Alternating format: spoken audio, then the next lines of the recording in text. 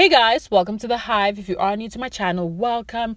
So, Serena Williams is doing amazing, not forgetting she's one of the best tennis players in the world. And i feel like she is coming slowly coming out of her shell because way back then she wouldn't do certain things that she's doing now. And i love it for her. So she is um advertising if we should call it that or marketing um nike women wear.